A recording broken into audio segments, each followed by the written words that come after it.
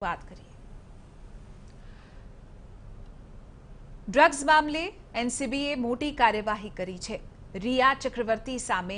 એનસીબીનો સકંજો કસાઈ ગયો છે રિયા ચક્રવર્તી બપોરે બાર વાગ્યે એનસીબીની ઓફિસ પહોંચી હતી જ્યાં બે અધિકારી રિયાની પૂછપરછ કરી રહ્યા છે આ પહેલા એનસીબી તરફથી રિયા ચક્રવર્તીના ઘરે સમન્સ મોકલવામાં આવ્યું એનસીબી રિયાની ધરપકડ કરે તેવી પણ શક્યતાઓ છે જો કે રિયાના વકીલ તરફથી કહેવાયું છે કે રિયા ધરપકડ માટે તૈયાર છે અને રિયાએ આગોતરા જામીનની અરજી નથી કરી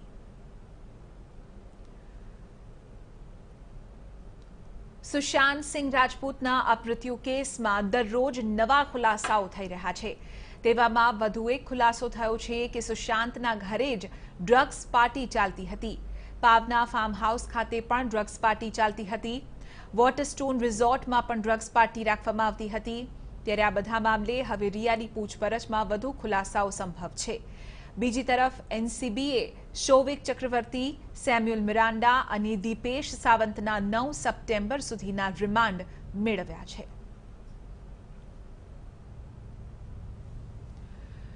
કેન્દ્ર સરકારે ઇઝ ઓફ ડુઇંગ બિઝનેસ માટે રાજ્યોનું રેન્કિંગ જાહેર કર્યું છે આ લિસ્ટમાં ગુજરાત દસમા ક્રમે ધકેલાયું છે ભારતમાં બિઝનેસ સ્ટેટ તરીકે જાણીતા ગુજરાતનું રેન્કિંગ પાછલા ચાર વર્ષ દરમિયાન સતત ઘટ્યું યાદી મુજબ દેશમાં આંધ્રપ્રદેશ પહેલા સ્થાને અને ઉત્તર પ્રદેશ બીજા સ્થાને છે તેલંગાણા ત્રીજા મધ્યપ્રદેશ ચોથા ક્રમાંકે આ રેન્કિંગનો હેતુ સ્થાનિક તથા વૈશ્વિક રોકાણકારોને આકર્ષવા રાજ્યોની વચ્ચે સ્વસ્થ હરીફાઈ શરૂ કરવાનું છે.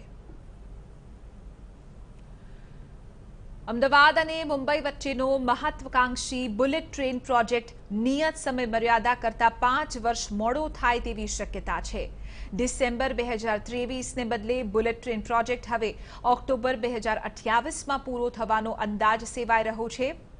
આ પ્રોજેક્ટમાં જાપાનની કંપનીઓનો ઘટતો રસ અને ટેન્ડરમાં થઈ રહેલો વિલંબ પણ મુખ્યત્વે જવાબદાર છે national high speed rail corporation દ્વારા પ્રોજેક્ટ માટે અત્યાર સુધીમાં ત્રેસઠ ટકા જમીન સંપાદિત કરવામાં આવી તો વિલંબના કારણે બુલેટ ટ્રેનનો પ્રોજેક્ટ ખર્ચ પણ વધી ગયો છે અગાઉ એક પોઈન્ટ શૂન્ય આઠ લાખ કરોડનો ખર્ચ થવાનો અંદાજ હતો પરંતુ હવે ખર્ચ વધીને એક પોઈન્ટ સિત્તેર લાખ કરોડ થાય તેવી શક્યતા વાત કોરોનાની કરીએ છેલ્લા ચાર દિવસથી શહેરમાં કોરોનાથી સાજા થઈને હોસ્પિટલમાંથી ઘરે જતા દર્દીઓની સંખ્યામાં પચાસ ટકાનો ઘટાડો થયો છે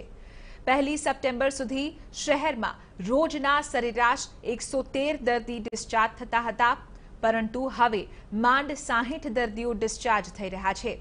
જેને કારણે કોરોનાના એક્ટિવ કેસની સંખ્યા જે પાંચ દિવસ પહેલા બે હજાર નવસો અગિયાર હતી તે વધીને ત્રણ હજાર બસો છેતાલીસ પર પહોંચી છે શહેરમાં એક મહિના પછી કોરોનાને કારણે બે દર્દીઓના મૃત્યુ થયા શહેરમાં મૃત્યુનો આંક સતત ઘટી રહ્યો છે આ અગાઉ બીજી ઓગસ્ટે બે દર્દીઓના મૃત્યુ નોંધાયા હતા શનિવારે નવા એકસો એકાવન કેસીસ નોંધાતા શહેરમાં કુલ કોરોના સંક્રમિતોની સંખ્યા એકત્રીસ હજાર બસો ત્રીસ પર પહોંચી કોરોના કાળમાં વરસાદ બાદની સિઝનમાં આરોગ્યની સવલતો વધુ અનિવાર્ય હોય છે જામનગરમાં એમ્બ્યુલન્સ છે ડ્રાઈવર છે પરંતુ ટાયરના વાંકે લાંબા સમયથી એમ્બ્યુલન્સ સેવા બંધ છે જિલ્લામાં આવી કુલ ચાર એમ્બ્યુલન્સ ટાયર ન હોવાના કારણે બંધ છે લોકોને સારવાર આપતી એમ્બ્યુલન્સ ખુદ બીમાર છે ચારેય એમ્બ્યુલન્સ હાલ તો શોભાના ગાંઠિયા સમાન બનીને રહી ગઈ છે જામનગર જિલ્લા પંચાયત સંચાલિત ચારેય એમ્બ્યુલન્સ માત્ર ટાયરના હોવાથી લાંબા સમયથી બંધ હાલતમાં છે લોકોને પરેશાનીનો સામનો કરવો પડી રહ્યો છે સમગ્ર વિશ્વમાં કોરોનાને કારણે લાખો લોકોના મૃત્યુ થયા લોકડાઉનને કારણે ધંધા રોજગાર પણ બંધ થઈ ગયા છે સુરતનો હીરા ઉદ્યોગ પણ આ સમયે કપરી પરિસ્થિતિમાંથી પસાર થઈ રહ્યો છે ત્યારે કોરોનાને કારણે મૃત્યુ પામેલા રત્ન કલાકારોના પરિવાર અને બેરોજગાર થયેલા રત્ન કલાકારોની વહારે એક સંસ્થા આવી સુરતની ડાયમંડ ઇન્ડસ્ટ્રી કરિયર ફાઉન્ડેશન અને તેની સાથે સંકળાયેલી અમેરિકાના જેમ્સ એન્ડ જ્વેલરીના એનઆરઆઈ સભ્યો રત્ન કલાકારોની મદદે આવ્યા આ સંસ્થા કોરોનાથી મૃત્યુ પામેલ રત્ન કલાકારનો પરિવારનો રૂપિયા દસ હજારથી પાંત્રીસ હજાર સુધીની આર્થિક સહાય પહોંચાડે છે સાથે જ જે રત્ન કલાકારો અત્યારે બેરોજગાર બન્યા છે, તેમને પણ નોકરી મળે તેવા પ્રયાસો થઈ રહ્યા છે. ચાર મહિના બાદ સુરતનું એરપોર્ટ ફરીથી ધમધમતું થયું. આજથી સુરત એરપોર્ટ ઉપર ઇન્ડિગો એરલાઇન્સ અને સ્પાઇસ જેટની ફ્લાઇટ તબક્કાવાર પોતાની ફ્લાઇટ શરૂ કરી રહી છે.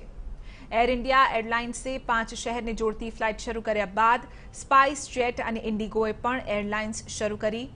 હાલ સુરત એરપોર્ટથી સ્પાઇસજેટ અને ઇન્ડિગો એરલાઇન્સની દિલ્હી, બેંગાલુરુ, હૈદરાબાદ અને કોલકાતાની ફ્લાઇટ ઓપરેટ થઈ રહી છે. અમદાવાદમાં એક પરિવારે ડોક્ટર ઉપર બેદરકારીનો આક્ષેપ લગાવ્યો છે. સંતોકબા હોસ્પિટલ, ગોમતીપુરમાં મહિલાનું મોત તબીબોની બેદરકારીના કારણે થયું હોવાનો પરિવારનો આક્ષેપ છે. બે દિવસ પહેલા કોથળીનું ઓપરેશન કરાવવા મહિલાને દાખલ કરાઈ હતી. જ્યાં ડોક્ટર હાજર ન હોવાથી મહિલાનું મૃત્યુ થયું હોવાનો આક્ષેપ છે બનાસકાંઠામાં પ્રસૂતિ દરમિયાન મહિલાના મોત બાદ બબાલની ઘટના સામે આવી ઇકબાલગઢની ખાનગી હોસ્પિટલની આ ઘટના છે પરિવારજનોએ ડોક્ટરની બેદરકારીથી મોતનો આરોપ લગાવ્યો છે સુરતમાં સળગેલી હાલતમાં વિદેશી યુવતીનો મૃતદેહ મળી આવતા ચકચાર મચી મગદલ્લા ગામના ભૈયાભાઈ સ્ટ્રીટ વિસ્તારનો સમગ્ર બનાવ.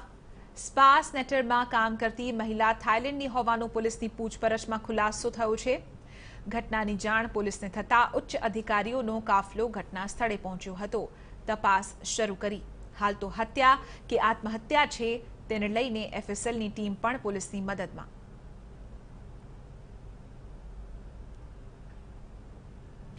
પ્રકૃતિ પ્રેમીઓ માટે સારા સમાચાર છે. કોરોના મહામારીને પગલે બંધ કરાયેલા રાજ્યના તમામ પ્રાણી સંગ્રહાલયો અભયારણ્યો અને રાષ્ટ્રીય ઉદ્યાનો પહેલી ઓક્ટોબરથી સામાન્ય જનતાના પ્રવેશ માટે ખુલ્લા મુકાશે આ નિર્ણયની સાથે જ સાસણમાં પણ ફરી પર્યટકોનો ધમધમાટ જોવા મળશે મહત્વપૂર્ણ છે કે લોકડાઉનના સમયથી પર્યટકોના પ્રવેશ માટે સાસણ સફારી પાર્ક બંધ કરાયો હતો જો કે સરકારે કેટલાક નિયમો અને ગાઈડલાઈન સાથે સફારી પાર્ક શરૂ કરવાની મંજૂરી આપી નિયમોનું ચુસ્ત રીતે પાલન થાય અને સોશિયલ ડિસ્ટન્સિંગ જળવાય તે રીતે વન વિભાગના અધિકારીઓ સફારી પાર્ક શરૂ કરવા જઈ રહ્યા છે ટૂંક સમયમાં ઓનલાઈન બુકિંગ શરૂ કરાશે સુરતમાં વડાપ્રધાન નરેન્દ્ર મોદીના જન્મદિવસની અનોખી રીતે ઉજવણી કરવામાં આવી રહી છે સત્તરમી સપ્ટેમ્બરના રોજ વડાપ્રધાન નરેન્દ્ર મોદીનો જન્મદિવસ છે ત્યારે સિત્તેરમાં જન્મદિવસ નિમિત્તે સિત્તેર હજાર વૃક્ષો વાવવામાં આવશે આજથી વૃક્ષારોપણ અભિયાનની શરૂઆત કરવામાં આવી છે વાત વરસાદની ઉત્તર ગુજરાતમાં ચાર દિવસ બાદ આજે વરસાદી માહોલ જામ્યો ઉત્તર ગુજરાતમાં મેઘરાજાએ ફરીથી એન્ટ્રી કરી સાબરકાંઠા હિંમતનગરના ગ્રામ્ય વિસ્તાર ઈડર વિજયનગર અને વડાલીમાં વરસાદ વરસ્યો છે જ્યારે અરવલ્લીમાં મોડાસા અને ભિલોડામાં વરસાદ વરસ્યો બનાસકાંઠાના અંબાજી અને પાલનપુરમાં વરસાદ વરસ્યો છે આ તરફ પાટણના સિદ્ધપુરમાં મેઘાવી માહોલ છે જ્યારે મહેસાણામાં પણ વરસાદ વરસ્યો છે ઉત્તર ગુજરાતના મોટાભાગના વિસ્તારોમાં વરસાદી વાતાવરણ છવાયું છે નર્મદા ડેમના ત્રીસ દરવાજા બંધ કરાતા નીચાણવાળા વિસ્તારના લોકોની રાહત થઈ. હાલ ડેમની સપાટી એકસો પચીસ મીટરથી વધુ નોંધાઈ. છ યુનિટ્સ દ્વારા બારસો મેગાવોટ વીજળીનું ઉત્પાદન થઈ રહ્યું છે.